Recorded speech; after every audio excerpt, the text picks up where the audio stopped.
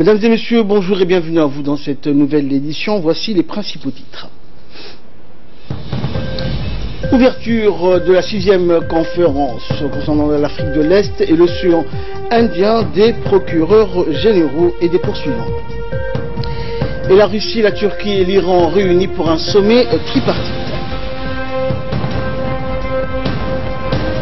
Merci à vous de nous rejoindre. La sixième conférence sous-régionale de l'Afrique de l'Est sur le renforcement de la lutte contre le terrorisme s'est ouverte ce matin au Djibouti Palace Kempinski. Cette rencontre a regroupé des procureurs issus des pays de la sous-région et des magistrats. La République de Djibouti accueille donc ce matin une importante réunion régionale.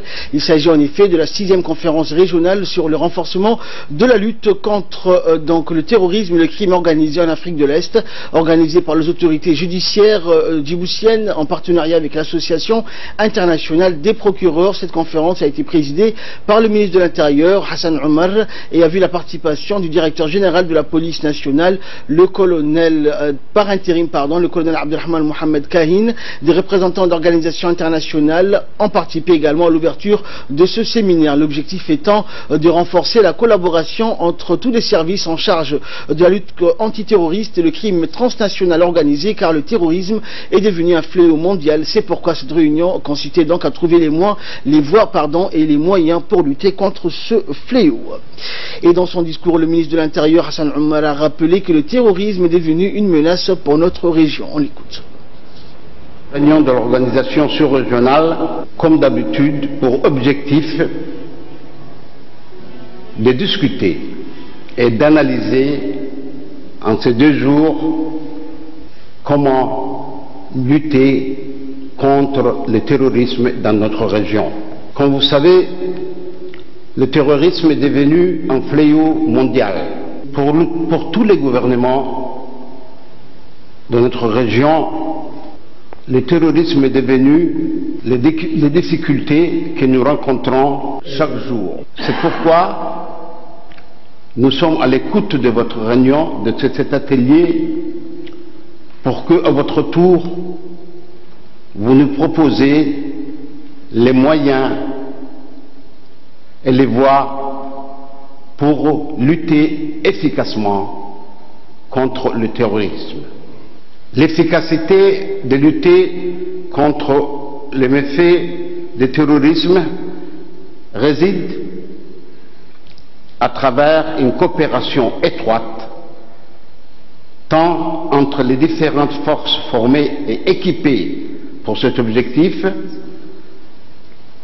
que les organisations régionales et internationales, avant tout, canaliser et faciliter la cohésion des actions de ces différentes forces et organisations. Je ne m'attarderai pas longtemps sur la menace que représentent les organisations terroristes et surtout Al-Shabaab tant pour la République de Djibouti que pour tous les autres pays de la région. Toujours nouvelle nationale, sous euh, la présidence de l'honorable Shalmak et la commission des finances, de l'économie générale et du plan s'est réunie ce mercredi dans la salle de commission de l'Assemblée nationale. L'ordre du jour de cette séance a porté sur l'examen en procédure d'urgence du projet de loi modifiant le Code général des impôts de la République de Djibouti. Le gouvernement était représenté par le ministre du Budget, Bodé Ahmed Roblé, accompagné de ses principaux collaborateurs, dont le secrétaire général Simone Mobratou, ainsi que le directeur général des impôts. Cette séance a aussi vu la participation de tous les membres de cette commission. Ce projet de loi soumis à l'approbation des commissaires avait pour objet la modification de certains articles, dont l'article 499, 500 et 501 du Code général des impôts. Cette nouvelle mesure s'inscrit dans le cadre de la réforme fiscale initiée ces dernières années par le président de la République. De ce fait, ces nouvelles dispositions visent à réduire les droits d'enregistrement relatifs aux mutations immobilières, comme les ventes d'immeubles ou des droits d'immobilier de toute nature, ainsi que la défiscalisation ou l'exonération de la première acquisition du terrain nu.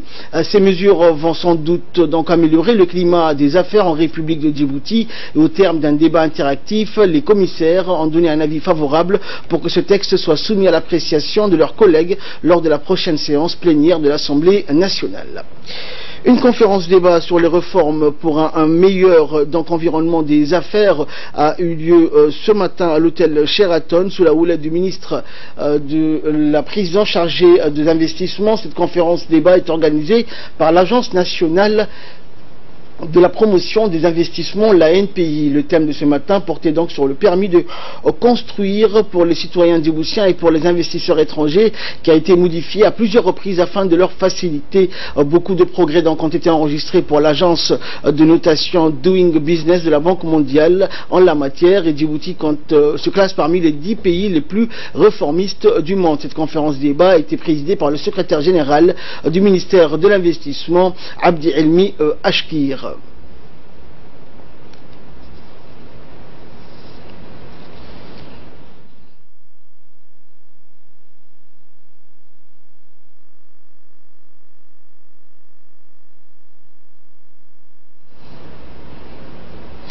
Et dans son intervention, le ministre du Commerce a remercié tous les participants d'avoir répondu à leur appel et leur a convié que Djibouti s'est classé dans cette liste grâce à leurs efforts et leur travail fourni quotidiennement en toute concertation avec les départements concernés et de poursuivre sur cette voie. On écoute le ministre.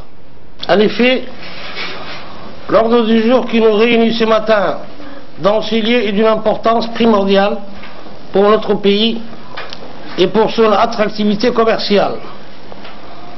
Il s'agit d'apporter des réformes institutionnelles en profondeur pour être en phase avec la vision du président de la République qui souhaite faire des Djibouti un hub commercial à la hauteur de sa position géostratégique régionale et continentale.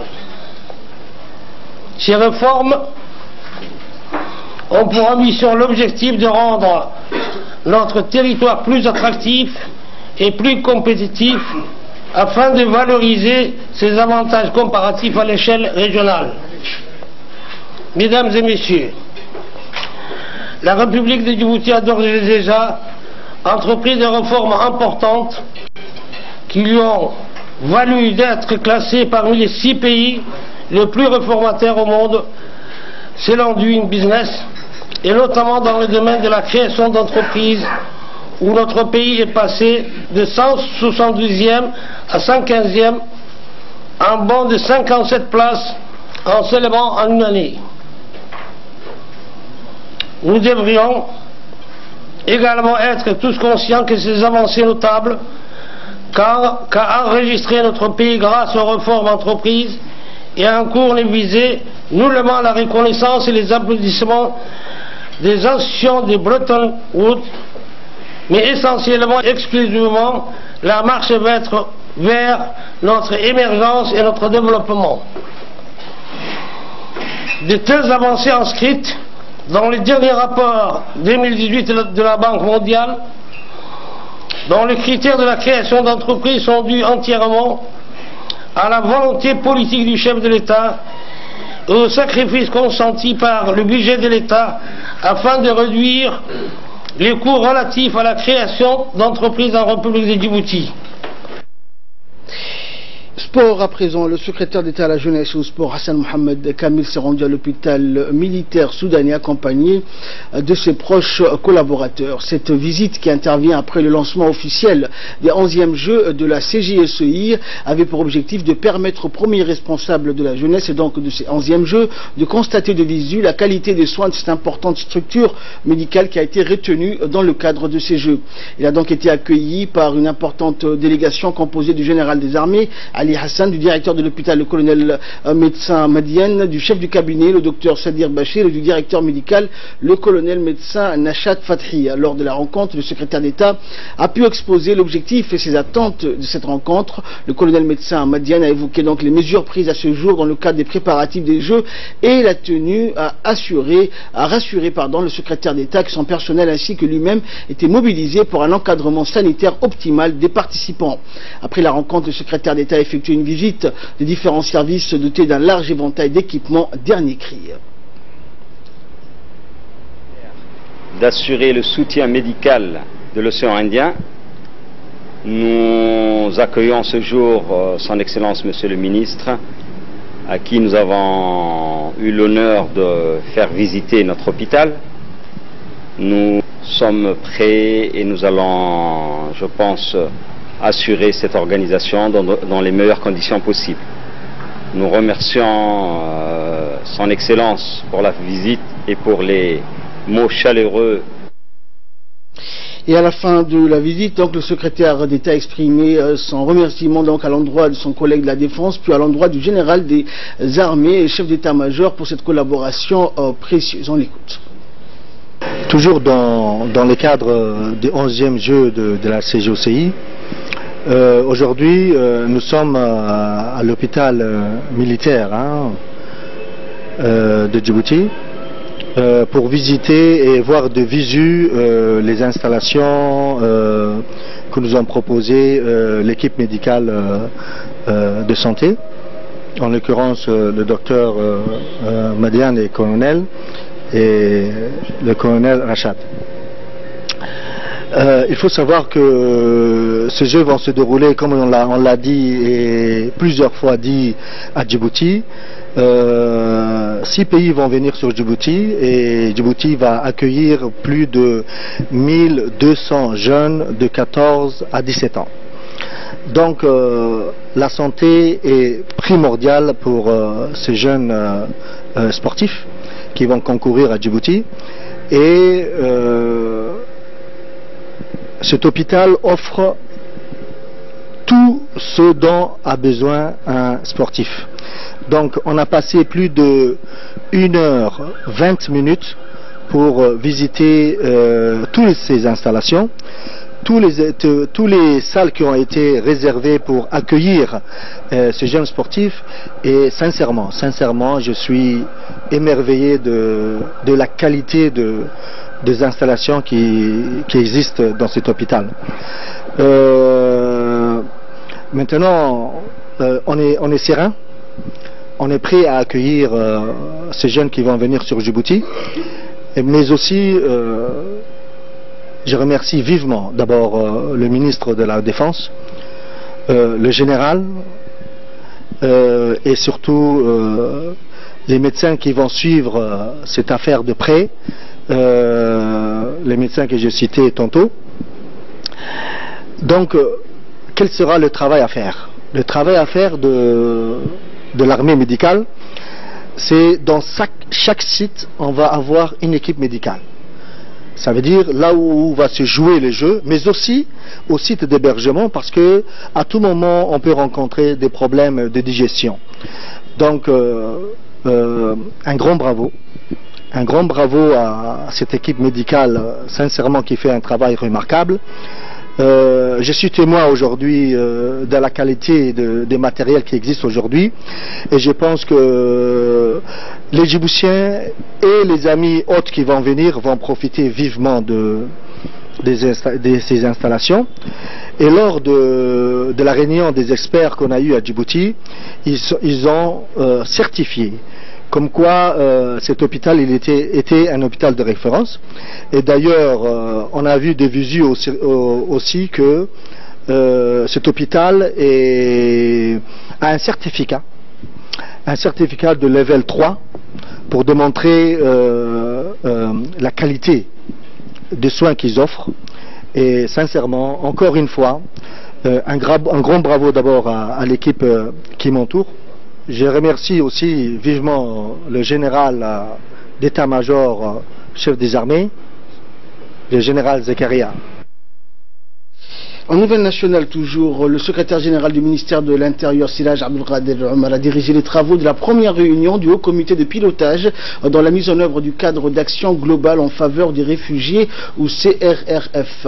La rencontre a vu la participation du secrétaire exécutif de l'ONARS, Hussein Hassan Darar, la représentante résidente du PNUD et coordinatrice du système des Nations Unies, Barbara Manzi, le représentant du HCR et les représentants des organisations internationales ainsi que des partenaires au développement.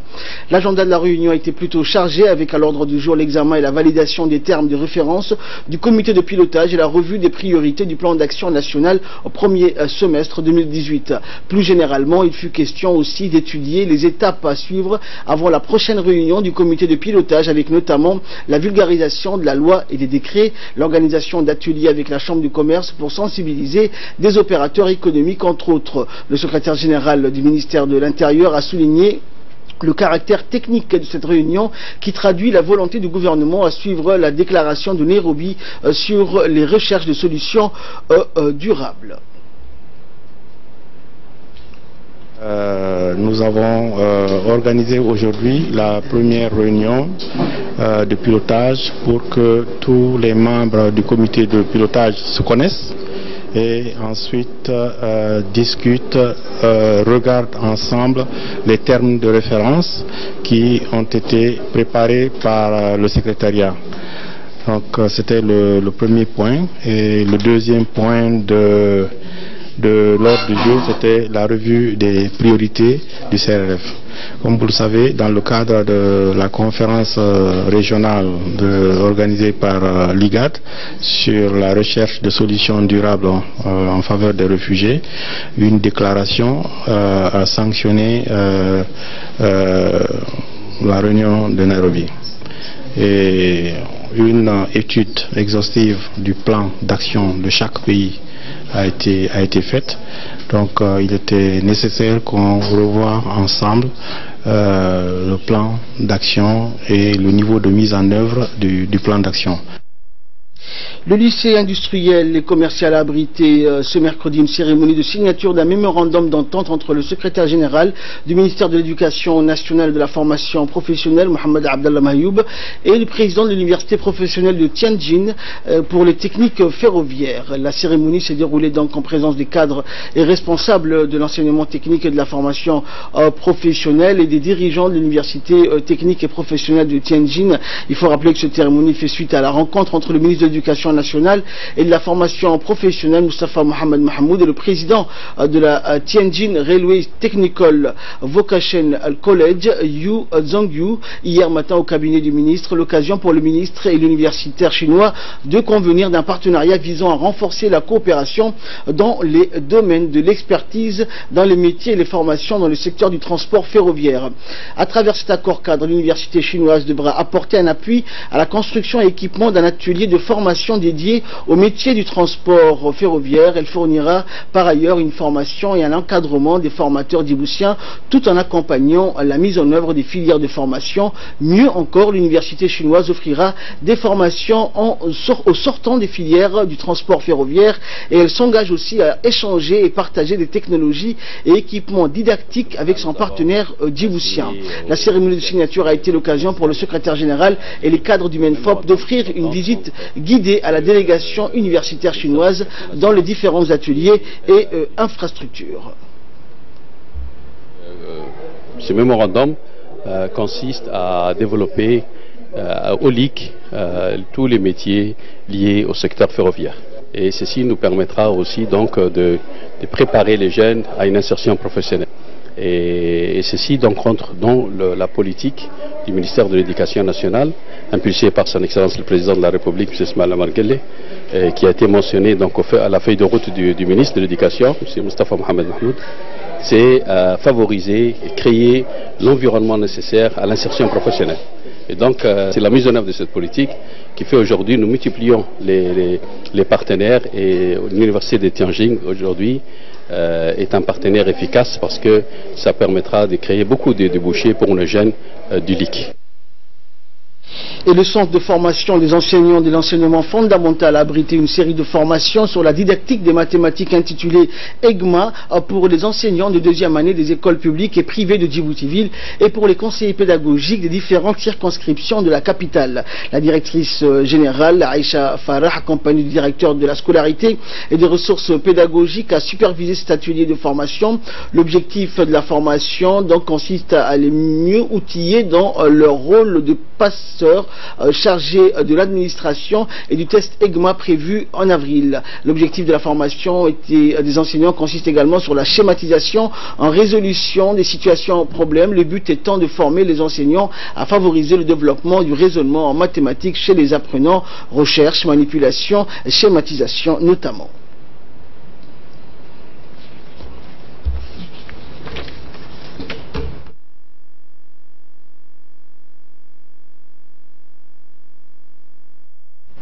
Et de là, nous passons à l'actualité internationale avec Samatar Saïd. Bonjour Samatar.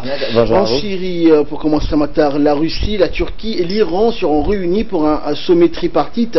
Les dirigeants russes donc se réunissent aujourd'hui à Ankara, en Turquie, pour un sommet visant à relancer la recherche d'un règlement de conflit en Syrie, Samatar. Effectivement, Ahmed, tandis que les Occidentaux ont échoué à imposer leur but de guerre en Syrie et malgré une dégradation de la situation au début de l'année, les trois puissances garantes du processus de paix d'Astana se retrouvent autour de la même table. Le deuxième jour de la visite, Vladimir Poutine en Turquie, ce 4 avril, devrait être largement consacré à la guerre en Syrie et à la résolution du conflit. Après une première discussion en tête-à-tête, la veille avec son homologue turc Recep Tayyip Erdogan, le président russe doit participer à un sommet trilatéral auquel devrait se joindre le président iranien Hassan Rouhani un peu plus de trois mois après leur dernière réunion à Sochi, en Russie. Et en France, ce matin, grève donc euh, SNCF, acte 2, le gouvernement français prédit des jours difficiles effectivement bis repetita. C'est le mot ce mercredi sur le quai de gare en France, avec un deuxième jour de grève et un trafic qui sera encore très perturbé. Le gouvernement français prédisant des jours difficiles aux usagers, la direction de la SNCF prévoit un TGV sur 7 et un train régional sur 5 en moyenne, soit sensiblement la même chose que mardi. Des manifestations ont ponctué la journée dans un rassemblement de 2700 personnes à Paris. Les syndicats représentatifs du SNCF le SGTD, le INCA, le SUD, le SFDET s'opposent à une réforme qui vise à détruire les, services publics ferroviaires pour un dogmatisme dans leur viseur, la suppression et de l'embauche au statut de l'ouverture de la concurrence et la transformation Ahmed de la SNCF à une société anonyme prémise d'une future privatisation selon eux. Et aux États-Unis, euh, Samatar, le siège de YouTube a été d'un théâtre d'une fusillade. Effectivement, Ahmed, une femme a blessé, une femme a blessé par balle trois personnes, dont une très grièvement au siège de YouTube près de San Francisco, sémant la panique euh, parmi les salariés avant de se suicider sur place. Selon la police, qui évoque un différent personnel, une opération de police a été menée aujourd'hui sur le campus de l'entreprise YouTube San, Bruno et Sud et San Francisco, où une fusillade s'est produite. Plusieurs personnes ont été hospitalisées pour des blessures par balle. Deux d'entre elles sont grièvement touchées. L'auteur des coups de feu quand elle a été retrouvée morte. Elle serait suicidée. Les 1100 salariés ont rapidement été évacués Ahmed, du site. Les images de la télévision ont montré des employés sortant du bâtiment, les mains sur la tête, pour être ensuite fouillés au corps par des policiers. Et toujours aux États-Unis, euh, Samatar, euh, les États-Unis commémorent aujourd'hui les 50 ans de la mort de Martin Luther King. Effectivement, Ahmed, il y a 50 ans, jour pour jour, où a eu lieu Martin Luther King a été abattu à Memphis, dans le Tennessee. C'est le 4 avril 1968, Martin Luther King était l'icône de la lutte pacifique pour le droit civique des Noirs américaines. Son discours I have a dream, j'ai fait un rêve, en resté dans les mémoires. Un demi-siècle après sa mort, qu'il style de l'héritage de Martin Luther King, Ahmed. Martin Luther King avait en effet un grand rêve, le rêve de voir les Noirs et les Blancs vivre pacifiquement à égalité de droits. Avec ses rêves, il est entré dans l'histoire. Plus de 250 000 personnes, y compris des Blancs, ont suivi son discours à la marche sur Washington pour le travail de la liberté le 23 août, rappelons-le, 1963. Son but, renforcer les droits des Noirs, les sensibiliser à leurs problèmes de la vie quotidienne en pleine période de ségrégation raciale aux États-Unis. Né le 15 janvier Ahmed 1929 à Atlanta, en Géorgie, le fils du pasteur Martin Luther King fait lui-même très tôt l'expérience du racisme.